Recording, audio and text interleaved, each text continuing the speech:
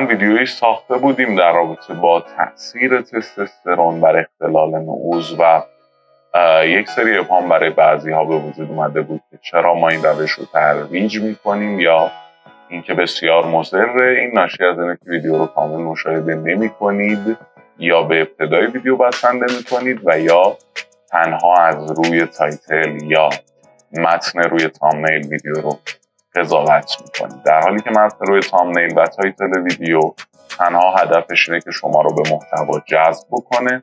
هرگز از clickbait ما استفاده نمی کنیم و همواره مطالبی که روی thumbnail ما هستش و یا روی title ما هستش این حقیقت.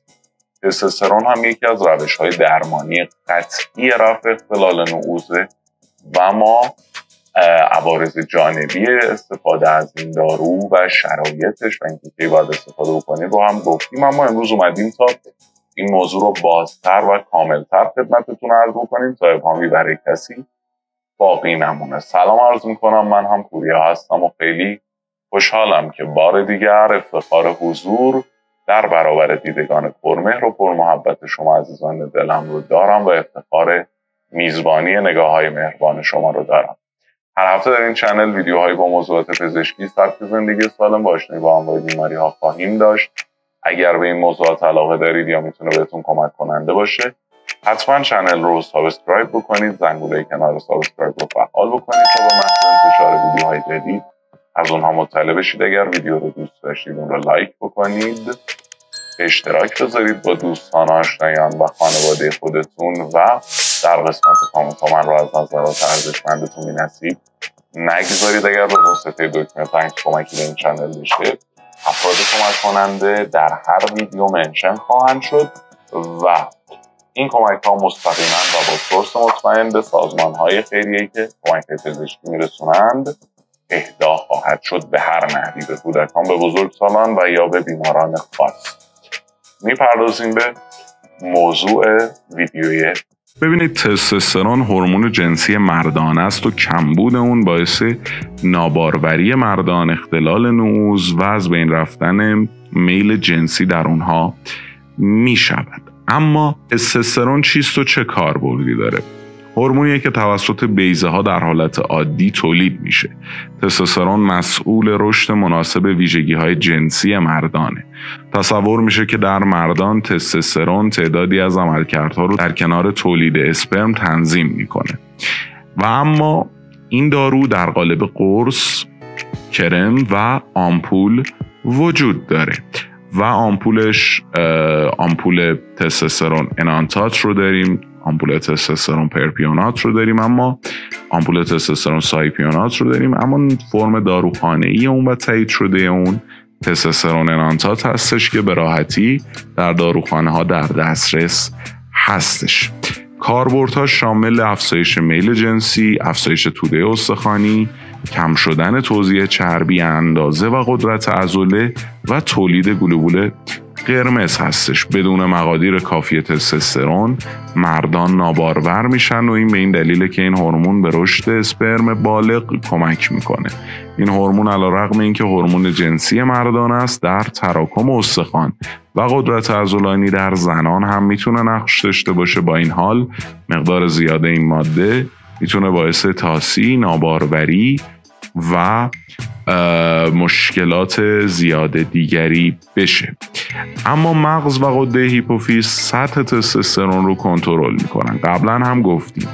هیپوفیز با ترشح دو هورمون FSH و LSH این دستور رو به بیزه ارسال می‌کنه که شروع کنه به ساختن تستوسترون و حتی ساختن اسپرم.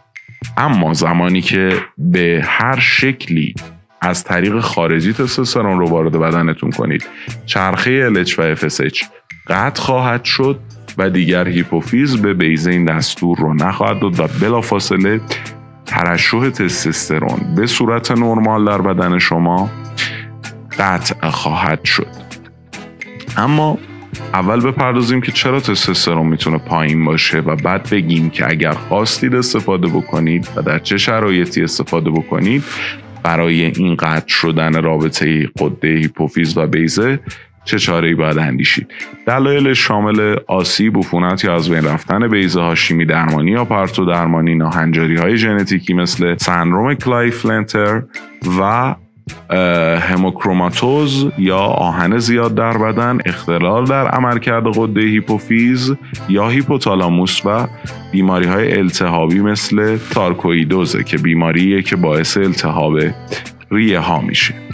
اما داروها و به ویژه هورمون هایی که برای درمان سرطان پروستات و داروهای کورتون استفاده میشن هم باعث از بین رفتن تولید طبیعی تستوسترون در بدن میشن و بیماری های مزمن مثل نارسایی مزمن کلیه سیروز کبدی اعتیاد به الکل یا چاقی هم می‌تونن باعث کم شدن تستوسترون بشن چرا که توده چربی خودش می‌تونه باعث تولید هورمون استروژن بشه و استروژن هم که سرکوب کننده تستوسترون.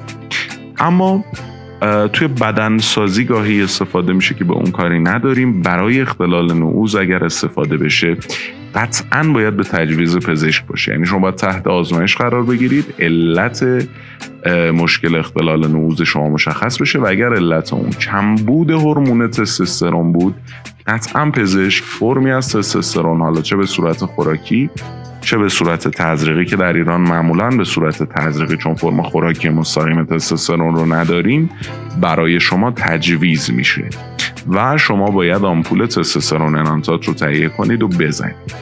خب اینکه قطع میشه رابطه بین LHOFSH و بیزه و در واقع رابطه بین قده هیپوفیز و بیزه این چه چاره ای داره؟ ببینید اول بگم که تاسی که ایجاد میشه در اثر تستوسترون به دلیل ژنتیکیه و اگر شما مجبور به استفاده خارجی تستوسترون اون هم در دوزهای بالا بشید به احتمال خیلی زیاد برای تاسی سرتون حتی با راهکارهایی که قبلا اشاره کردم بهش چاره ای نمی‌تونید بیاندیشید و اگر ژنتیکش رو داشته باشید موهای شما خواهند ریخت و می‌تونید به فکر کاشت مو باشید. در رابطه با اون که هیچی.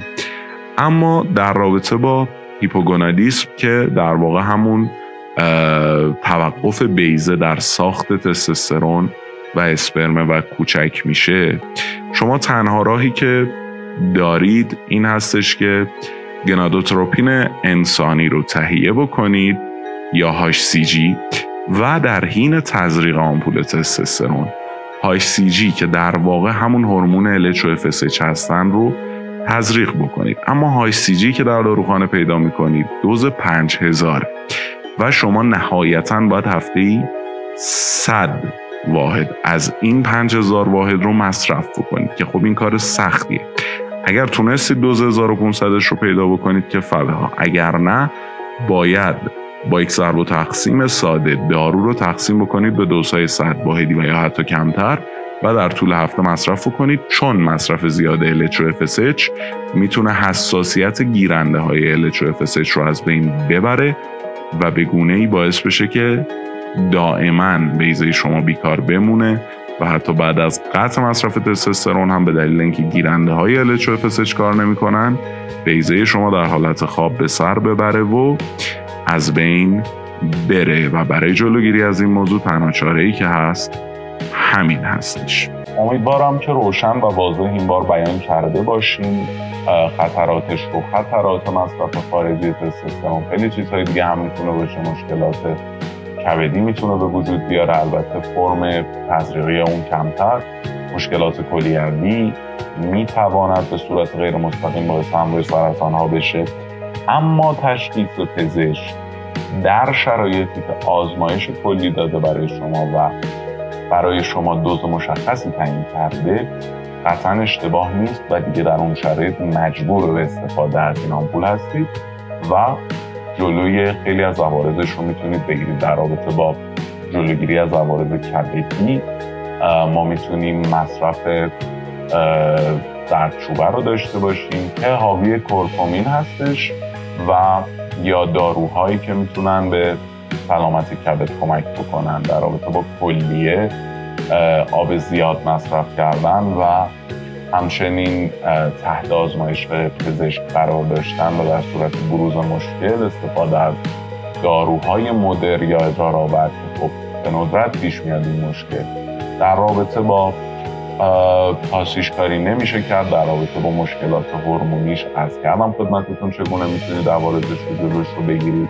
و بعد از مصرف تستوسترون در جایی که دیگه لازم نباشه مصرف بکنید دوره برای پاکسازی پزشک شما برای شما در نظر خواهد گرفت که یا داروی کلومیفن سیترات یا تاموکسیفن رو خدمت شما میده برای پاکسازی و شما باید علاوه بر اونها از یک داروی مثل لتروزول که آنتی آروماتاز هستش و استروژنی که به واسطه تزریق تستوسترون چون بخشی از تستوسترون که تزریق می‌کنه تبدیل به استروژن میشه. از بین می‌بره و بعد از اون دوباره یک آزمایش هورمونی می‌دید و هر آنچه که بالا و پایین باشه دوباره پزشک برای شما راه چاره خواهد اندیشید. اما بدون توصیه پزشک هرگز به سراغ این دارو نرید که عوارض جبران ناپذیر خواهد داشت امیدوارم از هستید سالم و سلامت و دور از انواع بیماری ها باشید. تا ویدیوی بعدی خدا یارو نگهدار شما